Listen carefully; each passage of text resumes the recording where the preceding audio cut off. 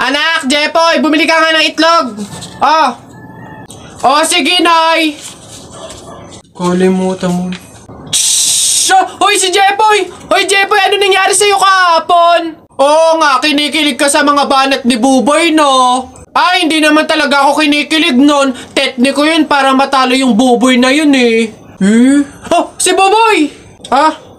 O ano, Jepo, yun lang naman pala kahinaan mo eh. Kilig-kilig ka pa dyan sa mga banat ko. Utot mo, eh di tuloy na natin yung laban natin ngayon. Nakita ko nanay mo sumakay ng bus. Bukas na dalawang pinto sa bintana pa lumabas. Ayun! O G, hindi ka bagay sa Pilipinas. Bagay ka sa lata ng sardinas. Ayun! Sus, hotdog, cheese dog, nanay mo sabog. Ayun! Aba, ayaw mo magpatalo ba? O tignan natin sa banat kong to. The sun is rising, the rain is coming. When I see you smiling, naku po, I'm falling. Ayun! Hoy, di mo na ako maloloko sa mga ganyan-ganyan mo. Tuloy na natin yung laban, ano? Sige, tuloy na natin. Sa kasalan. Anong magagawa?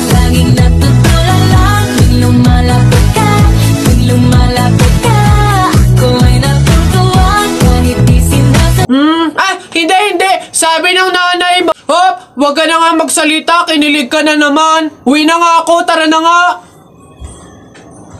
Sa buhay ko.